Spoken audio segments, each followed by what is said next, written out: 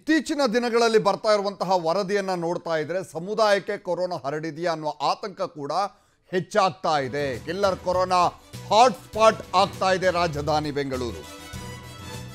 ರಾಜಧಾನಿ ಬೆಂಗಳೂರು ದಿನ ದಿನಕ್ಕೂ ಕೂಡ ಭೀತಿ ಹೆಚ್ಚಿಸ್ತಾ ಇದೆ. ಇಲ್ಲಿ ಸಮುದಾಯಕ್ಕೂ ಹರಡ್ತಾ ಇದೆಯಾ ಡೆಡ್ಲಿ ವೈರಸ್ ಕೊರೋನಾ ಅನ್ನುವ ಭೀತಿ ಈಗ ಉಂಟಾಗಿದೆ. ಶಿವಾಜಿನಗರ, ಪಾದರಾಯನಪುರ, ಹೊಂಗಸಂದ್ರದಲ್ಲಿ ಏರುತ್ತಲಿದೆ ಸೋಂಕು. ಸ್ವಲ್ಪ ಕಡಿಮೆ ಆಗಿದೆ ಅಂದ್ಕೊಳ್ತಾ ಇರುವಾಗಲೇ ಮತ್ತೆ ಈಗ ಏರಿಕೆ ಆಗ್ತಾ ಇದೆ. ಗಲ್ಲಿ ಗಲ್ಲಿಗಳಲ್ಲೂ ಹರಡ್ತಾ ಇದೆ. Deadly virus corona. ಸೋಂಕಿತರ ಸಂಪರ್ಕ ಇಲ್ಲದೆ ಇದ್ರೂ ಕಾಣಿಸ್ಕೊಳ್ತಾ ಇದೆ ವೈರಸ್. ಅಂದ್ರೆ ಸಮುದಾಯಕ್ಕೆ ಹರಡಿದೆಯಾ ಅನ್ನೋ ಪ್ರಶ್ನೆ ಎದುರಾಗ್ತಾ ಇದೆ. ಕೊರೋನಾಗೆ ಬಲಿಯಾಗ್ತಾ ಇದ್ದಾರೆ ಅರವತ್ತು ವರ್ಷ ಮೇಲ್ಪಟ್ಟಂತ ವೃದ್ಧರು. ವೃದ್ಧರನ್ನ ಮಾತ್ರವಲ್ಲ, ಯುವ ಜನರನ್ನೂ ಕೂಡ ಬಲಿ ಪಡಿತಾ ಇದೆ ವೈರಸ್. ಯಾರನ್ನೂ ಬಿಡ್ತಾ ಇಲ್ಲ. ಆರೋಗ್ಯ ಇಲಾಖೆ ಎಲ್ಲ ರೀತಿಯಲ್ಲಿ ಸಿದ್ಧ ಆಗಿದ್ರೂ ಕೂಡ ಸೋಂಕಿಗೆ ಕಡಿವಾಣ ಬಿದ್ದಿಲ್ಲ. ಸೋಂಕಿನ ಲಕ್ಷಣ ಇಲ್ಲದೆ ಇದ್ರೂ ಕೊರೋನಾ ಪಾಸಿಟಿವ್ ಬರ್ತಾ ಇದೆ. ಎಲ್ಲರಲ್ಲೂ ಕೂಡ ಲಕ್ಷಣ ಕಾಣಿಸ್ಕೊಳ್ಬೇಕು ಅಂತ ಇಲ್ಲ. ಲಕ್ಷಣ ಇಲ್ಲದೆ ಇದ್ರೂ ಕೂಡ ಪಾಸಿಟಿವ್ ಬರ್ತಾ ಇದೆ. ಗಲ್ಲಿ ಗಲ್ಲಿಗಳಲ್ಲೂ ಇವತ್ತು ಈ ಮಾರಕ ಕೊರೋನಾ ಹರಡ್ತಾ ಇದೆ. ಶಿವಾಜಿನಗರ, ಪಾದ್ರಾಯನ್ಪುರ, ಹೊಂಗಸಂದ್ರ ಇಲ್ಲಿ ಮತ್ತೆ ಹೆಚ್ಚಾಗ್ತಾ ಇದೆ. ಸ್ವಲ್ಪ ದಿನಗಳಿಂದ ಕಮ್ಮಿಯಾದಂತಹ ಕೊರೋನಾ ವೈರಸ್ನ ಕಾಟ ಈಗ ಮತ್ತೆ ಜಾಸ್ತಿ ಆಗ್ತಾ ಇದೆ. ನೀವು ಬೆಂಗಳೂರಿನ ಯಾವ ಬೀದಿ ನೋಡಿದ್ರೂ ಇಲ್ಲಿ ಭಯ ಹುಟ್ಟಿಸುವಂಥ ವಾತಾವರಣ ಇದೆ. ಯಾಕಂದರೆ ಯಾರಿಗೆ ಕೊರೋನಾ ಇದೆ ಅಂತ ಹೇಳೋದಕ್ಕೆ ಸಾಧ್ಯ ಇಲ್ಲ. ಯಾವಾಗ ಲಾಕ್ಡೌನ್ ಓಪನ್ ಆಯಿತು, ಜನಸಾಮಾನ್ಯರು ಪ್ರತಿನಿತ್ಯ ತಮ್ಮ ಕೆಲಸ ಕಾರ್ಯಗಳಲ್ಲಿ ನಿರತರಾದರೂ ಜಾಸ್ತಿ ಆಗ್ತಾ ಹೋಯಿತು ಕೊರೋನಾ. ಆರೋಗ್ಯ ಇಲಾಖೆ ಎಲ್ಲ ರೀತಿಯಲ್ಲಿ ಕ್ರಮ ತೆಗೆದುಕೊಂಡಿದೆ. ಆದರೆ ಏನು ಪ್ರಯೋಜನ ಆಗ್ತಾ ಇಲ್ಲ. ಸಮುದಾಯಕ್ಕೆ ಹರಡಿದೆಯಾ ಅನ್ನುವಂತಹ ಆತಂಕ ಈಗ ಶುರುವಾಗ್ತಾ ಇದೆ. ಅದಕ್ಕೆ ಕಾರಣಗಳು ಬಹಳಷ್ಟಿವೆ. ಅದಕ್ಕೆ ಕಾರಣಗಳು ಬಹಳಷ್ಟಿವೆ.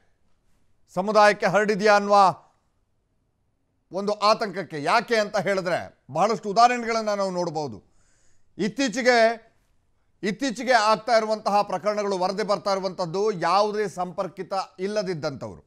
ಯಾರ ಸೋಂಕಿತರ ಸಂಪರ್ಕಿತ ಇಲ್ಲದೇ ಇರುವಂತಹವರ ಅಲ್ಲಿ ಈಗ ಕೊರೋನಾ ಬರ್ತಾ ಇದೆ ಪಾಸಿಟಿವ್ ಬರ್ತಾ ಇದೆ, ಒಂದು. ಎರಡನೇದಾಗಿ ಬಿ ಎಂ ಟಿ ಸಿ ಕಂಡಕ್ಟರ್ಗಳಲ್ಲೂ ಕೂಡ ಕೊರೋನಾ ಬರ್ತಾ ಇದೆ. ಕೊರೋನಾ ಪಾಸಿಟಿವ್ ಬರ್ತಾ ಇದೆ. ಇದು ಆತಂಕಕ್ಕೆ ಈಡು ಮಾಡಿದೆ. ಯಾಕಂತ ಹೇಳಿದ್ರೆ ಬಿ ಎಂ ಟಿ ಸಿ ಬಸ್ನಲ್ಲಿ ಓಡಾಡಿದಂತಹ ಸಂದರ್ಭದಲ್ಲಿ ಸಮುದಾಯಕ್ಕೆ ಹರಡಲಿಲ್ಲ ಅಂತ ಹೇಳೋದಕ್ಕೆ ಸಾಧ್ಯ ಇದೆಯಾ? ಖಂಡಿತ ಇಲ್ಲ.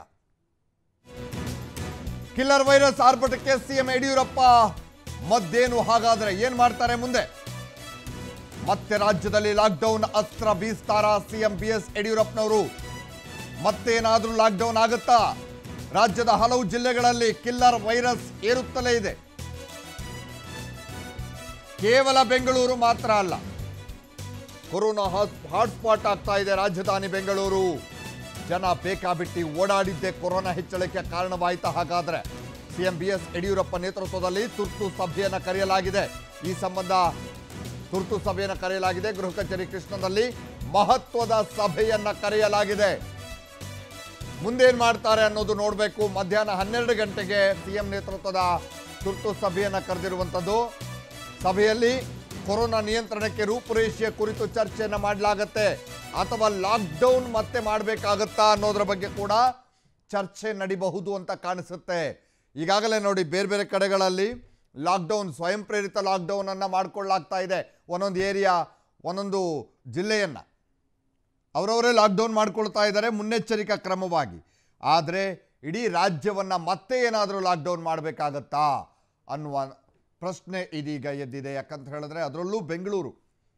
ಬೆಂಗಳೂರಿಗೆ ಈಗ ಲಾಕ್ಡೌನ್ ಓಪನ್ ಆದ ನಂತರ ಬೇರೆ ಬೇರೆ ಕಡೆಯಿಂದ ಬಂದಂಥವರು, ಬೇರೆ ಬೇರೆ ರಾಜ್ಯಗಳಿಂದ, ಬೇರೆ ಬೇರೆ ಜಿಲ್ಲೆಗಳಿಂದ ಬೆಂಗಳೂರಿನ ಮಹಾನಗರಕ್ಕೆ ಕೆಲಸಕ್ಕೆ ಅಂತ ಬಂದಂಥವರು, ಉದ್ಯೋಗಕ್ಕಾಗಿ ಬಂದಂಥವರು. ಈ ಜನರ ಓಡಾಟ ಯಾವಾಗ ಹೆಚ್ಚಾಯಿತು? ಲಾಕ್ಡೌನ್ ಓಪನ್ ಆಯಿತು. ಆಗ ಈ ಕೊರೋನಾವನ್ನು ನಿಯಂತ್ರಿಸೋದಕ್ಕೆ ಸಾಧ್ಯ ಆಗಲಿಲ್ಲ, ಜಾಸ್ತಿ ಆಗ್ತಾನೆ ಹೋಯಿತು. ಈಗ ಸರ್ಕಾರ ಯಾವ ರೀತಿ ನಿರ್ಧಾರವನ್ನು ತೆಗೆದುಕೊಳ್ಳುತ್ತೆ ಅನ್ನೋದನ್ನು ಕಾದು ನೋಡಬೇಕು. ಇವತ್ತು ಮಧ್ಯಾಹ್ನ ಹನ್ನೆರಡು ಗಂಟೆಗೆ ಸಿ ಎಂ ನೇತೃತ್ವದಲ್ಲಿ ಸಭೆಯನ್ನು ಕೂಡ ಕರೆಯಲಾಗಿದೆ. ತುರ್ತು ಸಭೆ ಇದು. ಇಲ್ಲಿ ಏನೇನು ಚರ್ಚೆ ಆಗುತ್ತೆ, ಏನು ನಿರ್ಧಾರ ಆಗುತ್ತೆ, ಕಾದು ನೋಡೋಣ.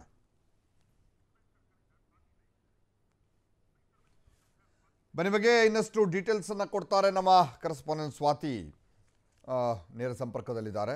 ಸ್ವಾತಿ, ಈಗ ನೋಡಿ ಬೆಂಗಳೂರಿನಲ್ಲಿ ಹೇಳೋದಾದರೆ ಬಹಳಷ್ಟು ಸೋಂಕಿತರ ಸಂಖ್ಯೆ ಕೂಡ ಬಹಳಷ್ಟು ಹೆಚ್ಚಾಗ್ತಾ ಇದೆ. ಇವತ್ತು ಮಧ್ಯಾಹ್ನ ಹನ್ನೆರಡು ಗಂಟೆಗೆ ಸಿ ಎಂ ನೇತೃತ್ವದಲ್ಲಿ ಒಂದು ಸಭೆ ಕೂಡ ಇದೆ. ಮುಂದೇನು ಅನ್ನುವಂತಹ ಚಿಂತೆ ಈಗ ಎದುರಾಗಿದೆ.